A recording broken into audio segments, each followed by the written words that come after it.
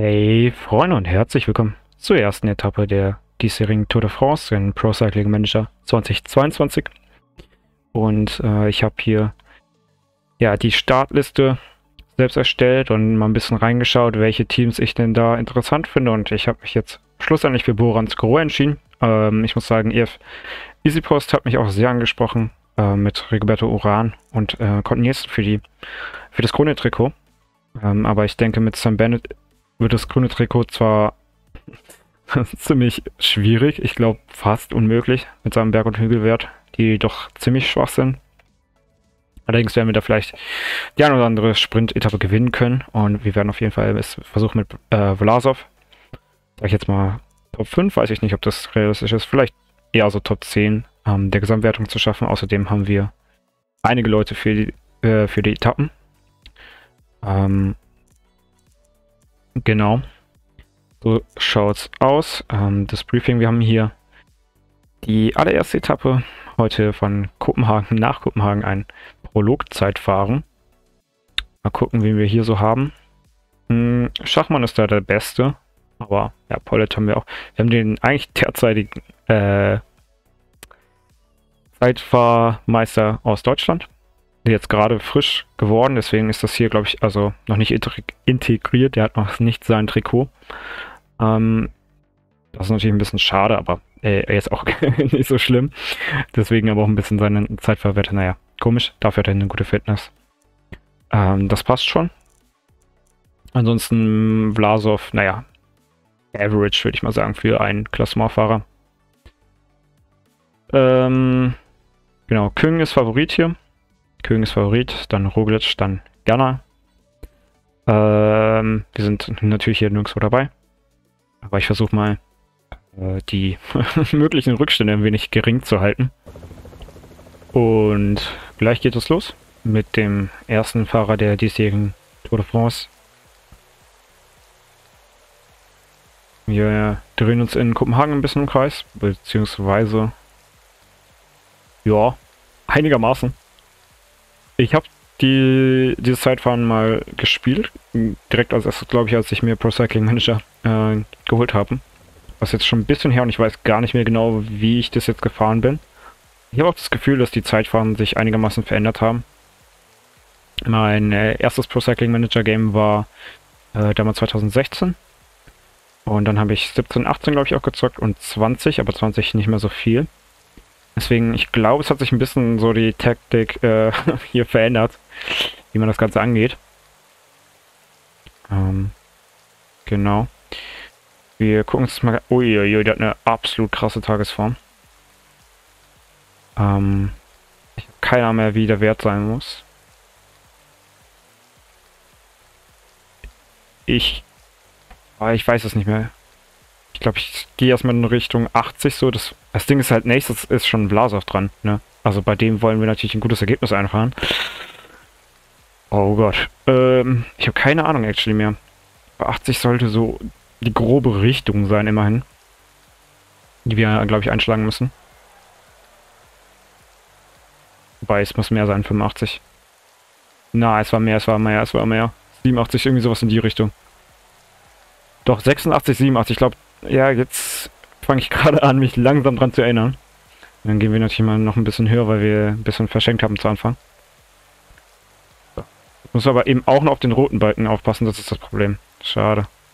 Das ist nämlich genau die Schwierigkeit, die war früher, glaube ich, nicht so gegeben. Ähm, bei den Zeitfahren, so wie ich mich dunkel dran erinnere. Äh, mit dem roten Balken, da ging es, glaube ich, nur um einen Balken und nicht um zwei. Das macht es natürlich nur ein bisschen herausfordernder. Ja? Auf jeden Fall. ich glaube, jetzt geht es hier nochmal so ein bisschen mehr runter. Also hier geht es leicht hoch und dann leicht runter. Also da hat man hier auch nochmal ein paar mehr Kurven, deswegen. Ja, wobei, der rote Balken, ja. Hm. Hier haben wir diese Kurven, die so ein bisschen runtergehen, aber es hat sich nicht viel getan da beim roten Balken, deswegen gehe ich wieder auf die 86. Es wird keine gute Zeit, auf jeden Fall nicht. Ich meine 86, 86, 87, so, ich äh, erinnere mich ganz dunkel dran, das war so die, der Richtwert.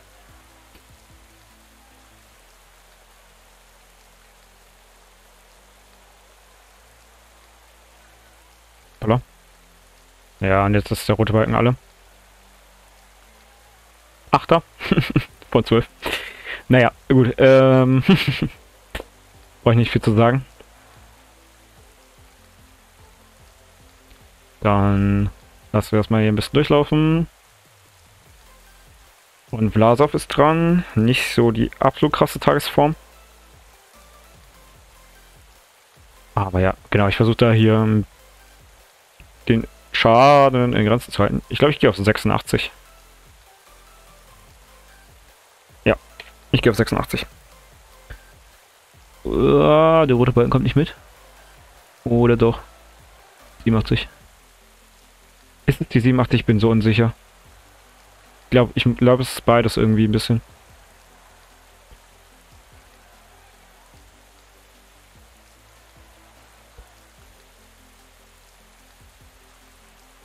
Ich, ich probiere es jetzt mal so aus. Ich habe keine Ahnung, ob das irgendwie Sinn ergibt oder ob das total doof ist, was ich hier mache.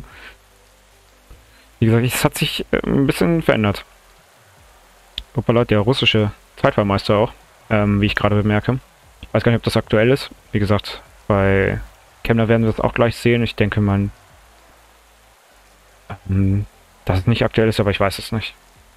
Also gerade beim, beim russischen, da habe ich gerade absolut keinen Plan. Äh, muss ich sagen, da bin ich auch ein bisschen raus. Weiß gar nicht, wann da die, überhaupt die Meisterschaften genau sind. Ob die auch eben kurz vor der Tour de France sind, so wie die meisten, aber eben nicht alle. Ja, und da, ich finde, da sieht es schon mal deutlich besser aus. Ich glaube, hier haben wir das Energy ein bisschen besser gemanagt. Oh, jetzt wird es gefährlich nochmal mit Boden. Oh, das war ein bisschen too much am Ende. Das war ein bisschen too much, maybe. Jetzt aber die 86 kommen. Ja, ja. Ziemlich gut aufgegangen. Wir sind Zehnter. Ich weiß nicht, ist das gut? Eine Sekunde hinter Adam Yates. Hat er... Was hat er für ein Rating? Genau das gleiche wie wir. Also nicht schlecht. das kann ich dann äh, daraus schon mal schließen. Ähm, war vielleicht nicht super, aber auch nicht schlecht. Immerhin. Ja, wie gesagt, also das wird... Opala. No, Mann. Ähm... Gehen wir auf die 86 auch. Äh... Ja, Schachmann... Natürlich nicht unser schlechtester Zeitfahrer. Aber... Oh! What? Vierter! Ich meine, ich mein, immerhin 16 Sekunden Rückstand auf Van Art, aber trotzdem, krass. Boah, Thomas. Der war Sorry, mein Fehler. Auch Mann, ich passe nicht auf. Äh, gleichzeitig äh, spielen und kommentieren ist äh, eine Sache, die ich nochmal üben muss. Äh, was ich sagen wollte, genau. Äh, Thomas war in den äh, Top 10 von den Favoriten ja auch mit dabei. Und wir sind vor ihm gelandet. Äh, Schachmann war auf jeden Fall nicht bei den Favoriten mit dabei. Deswegen, ähm, Ja, was ich eigentlich sagen wollte, ursprünglich, dass ich mir jetzt hier nicht mehr so viel Mühe gebe, abgesehen eben jetzt von Vlasov, weil ich jetzt nicht das Gefühl hatte, dass wir irgendwas hier reißen konnten mit unseren Fahrern. Ähm, und deswegen mir es jetzt nur wichtig war, dass unser Klassementfahrer mit dabei ist.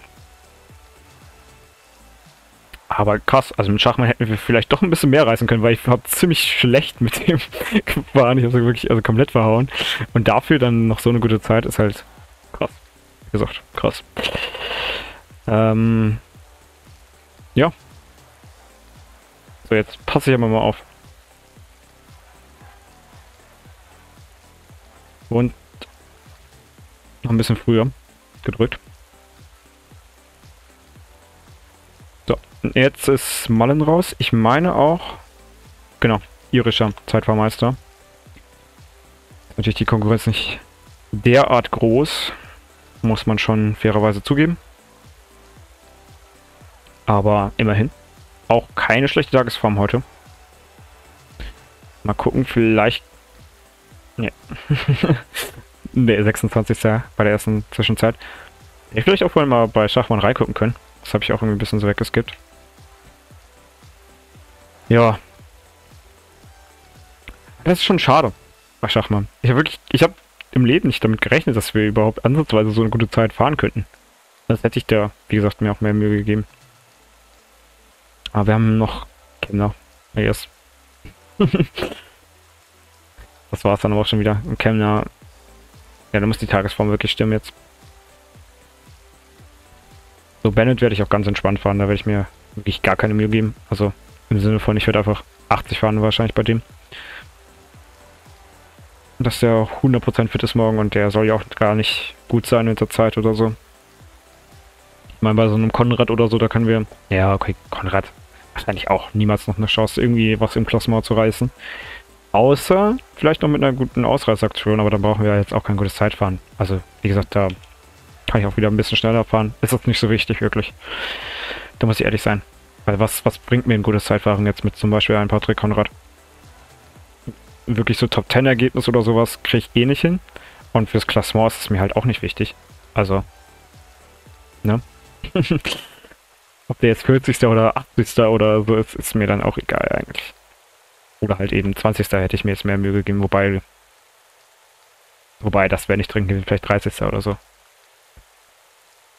Wenn überhaupt. Schachmann auf 7 jetzt. Oh Junge, es ist, es ist so traurig, ne? Also ich hätte, guck mal, die 3, 4 Sekunden hätte ich vielleicht noch rausholen können, dass vielleicht in die Top... Ja, Top 5 weiß ich nicht, weil es kommen ja auch noch einige. Hier zum Beispiel. Aber da werden noch einige kommen, denke ich mal. Die da reinfahren. Äh.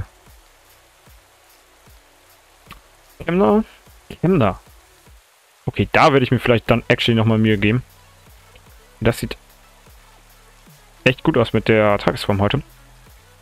87, starte ich mal rein. Also krass. 78er Prolog ähm, Wert für heute. Das könnte eine Top 5 Wertung geben. Possible. Ich weiß es nicht. Ich bin mir da ziemlich unsicher, aber das ist eine Möglichkeit, würde ich sagen. Ja, auf jeden Fall geil. Übrigens hier, wie man sieht, äh, tatsächlich noch nicht das Zeitfahr-Trikot bekommen. Aber ich finde dieses ähm, neue Bora-Trikot auch echt ziemlich, ziemlich nice, muss ich ehrlich sagen. Das gefällt mir sehr. Nicht, dass das ein Grund gewesen wäre, das Team hier zu wählen. nee, aber ist schon sehr cool. Ich finde aber auch eigentlich seitdem Bora Bora Hans Grohe ist, also seitdem die diesen Doppelsponsor haben und seitdem sie sich Wall sind, ich glaube zwar gleichzeitig, ähm, fand ich eigentlich jedes Trikot ziemlich, ziemlich nice von denen, muss ich ehrlich sagen.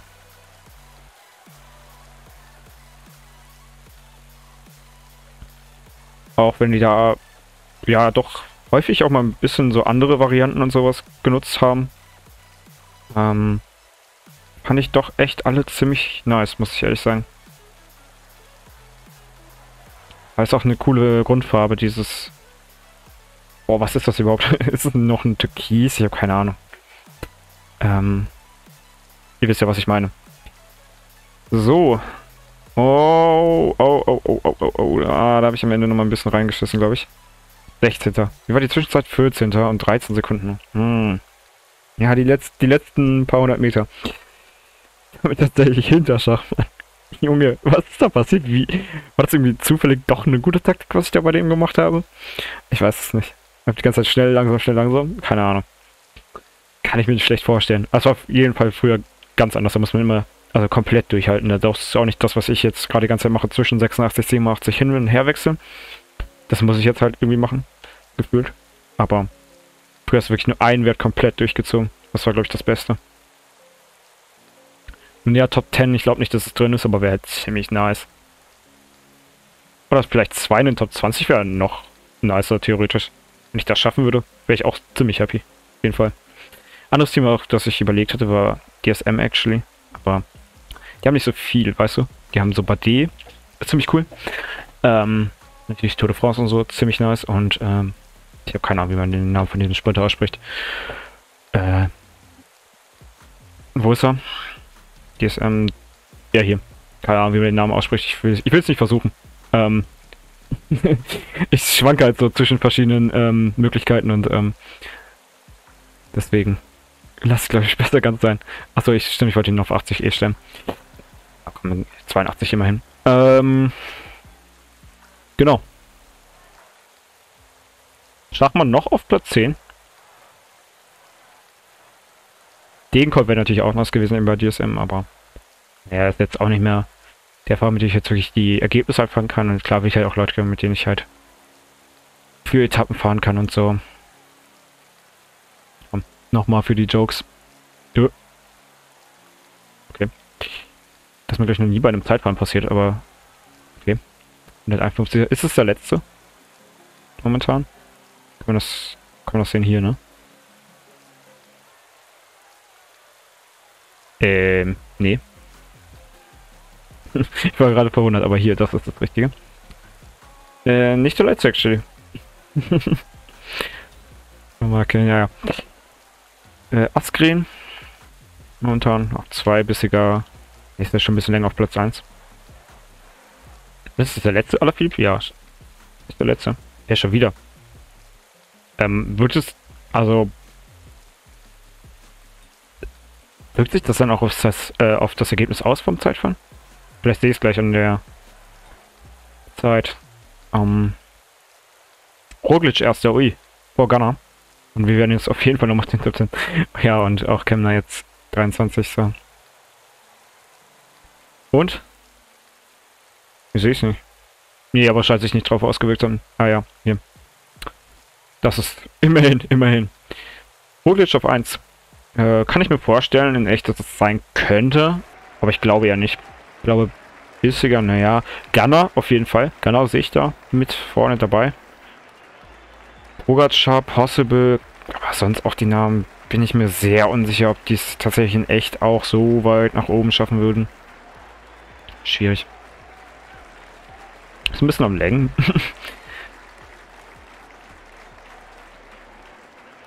ja, ich glaube, da haben wir gar keine, oder? Für die Nachwuchsfahrerwertung. Teamwertung Jumbo Visma, ja, war zu erwarten, denke ich mal. Auch in echt nicht so unwahrscheinlich. Wir sind immerhin auf dem achten Platz. Das könnte auch eine Sache sein, die ich gerne immer so ein bisschen mitbeachte, wobei unser Team nicht optimal dafür ausgelegt ist. Im Gegensatz zu zum Beispiel Jumbo Visma. Oder ähm, natürlich UAE. Ähm, ah, okay, wir haben immerhin 16. und 24. Ist nicht schlecht. Ist nicht schlecht. Wen sehe ich hier noch so in echt weit vorne? Weiß ich gar nicht so genau. Hm. hm. Lass mich ein bisschen überraschen. Was mit Thunderpool vielleicht? Also von Art auf jeden Fall, ja, von Art. Klar. Safe Call. Ja. Roglic, wie gesagt, schwierig. Kann natürlich auch gut und gerne vorne mit dabei sein, aber also erster wirklich, glaube ich, eher weniger. Genau, U25 haben wir tatsächlich niemanden. Dann heißt es, nächste Etappe ist diese flache Etappe mit ähm, der Windkante am Ende. Ich denke mal, das kriegen wir gut hin. Sam Bennett wird für den Sieg fahren, denke ich mal. Also das ist, glaube ich, schon unser Anspruch. Ähm, ja. Bis dahin, also morgen. Äh, macht's gut. Ciao, ciao.